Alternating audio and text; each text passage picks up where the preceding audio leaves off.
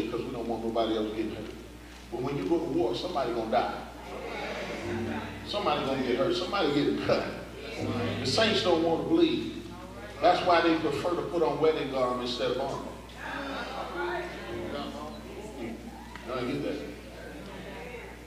So we waiting on Jesus. Well, he coming for some people with some armor on. We in the midst of warfare.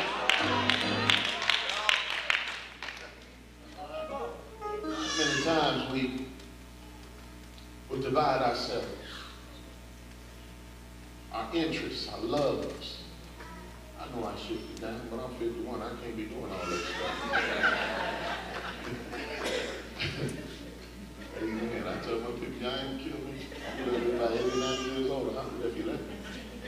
Amen. I want to be the storyteller. I want to tell stories. I want to tell them how we got here, who our God is. Will divide things. Because when it comes to fighting certain things, if you don't believe me, think about it. When your finances are jacked up, you divide things. Yes, you do. You rob Peter and he pays Paul. But you still got to come back and pay Peter. You started something, but you didn't finish it. I always used to think about debt as like life, you know. You can't win a fight if you're looking at the big fight in front of you. You got to fight all the little ones first. Because all the little things make the big things small. If you conquer all of the small things in your life, if you overwhelm them with the word and the spirit of God, if you overwhelm them with the prowess that he has given unto you, big things look small. Joker wrote that song, Big Things Popping, they don't know what they're talking about. They don't know what they're talking about. They don't know what they're talking about. Because at the end of the day, all of that stuff is the right first and foremost of the child of God. To overcome. Ye have overcome them, little children, for greater is he that is in you than he that is in the world. To be more than a conqueror. For we are more than conquerors of all these things through him that have loved us. To be people who triumph. For he always causes us to triumph in Jesus Christ. You know, to be the head and not the tail. For me, because I feel something trying to push me. Start up all over again. Amen. Praise the Lord. Hallelujah. Thank God. Hallelujah. Thank you, Jesus.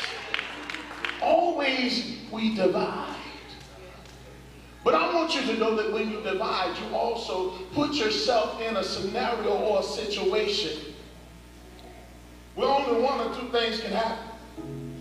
I've been watching movies, and you'll see three or four people running from one person. And they do the darndest thing every time. Mind you, they ain't black folk, because we don't do stuff like that. We stick together. We want to see you get cut and killed. Amen. They do the darndest thing every time. They'll split up. It won't be two and two. It'll be four going four different ways.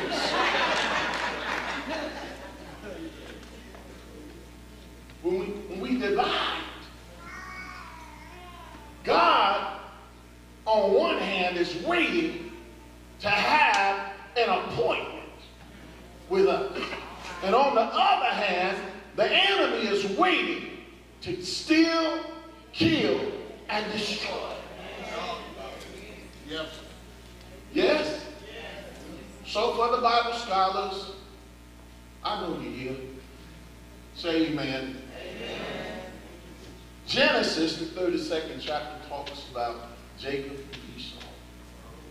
And I find that oftentimes we, we preachers, because we know y'all know, Jacob wrestled with God. Um, uh, in the Hebrew, the word that implies that it was God, it's a theophany. And a theophany in the Greek is a word that describes when God takes on the appearance of something or someone else other than himself, but he's still God. Amen? And so here, you, you, you, you see him out in the desert wrestling with Jacob. I don't want to talk about the wrestling. Huh?